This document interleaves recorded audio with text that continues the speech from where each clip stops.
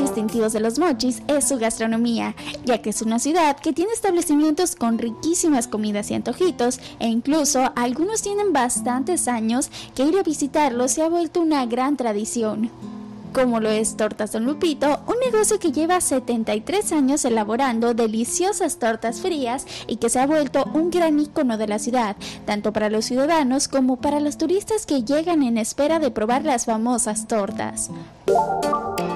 La gente pues viene de Tijuana, de, Guadalajara, de otros lugares de la República y pues que dicen que es la misma sazón de las tortas que siguen igual de ricas y pues a nosotros nos da mucho gusto que nos comenten eso.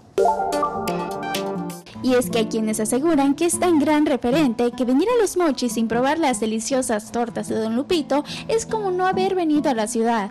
El establecimiento comenzó en 1950 cuando don Lupito decidió comenzar a vender tortas frías en una bicicleta afuera de una secundaria y con el paso del tiempo el negocio fue creciendo hasta contar con cinco sucursales. Él vendía fruta y, y ahí conoció a una persona que vendía las tortas. Entonces esa persona le dijo que pues que él se iba a ir de la ciudad que él siguiera vendiendo las tortas. Lamentablemente, en el año 2016, don Lupito falleció, por lo que sus familiares, quienes aprendieron la receta de las famosas tortas, se han encargado de mantener vivo esta gran tradición.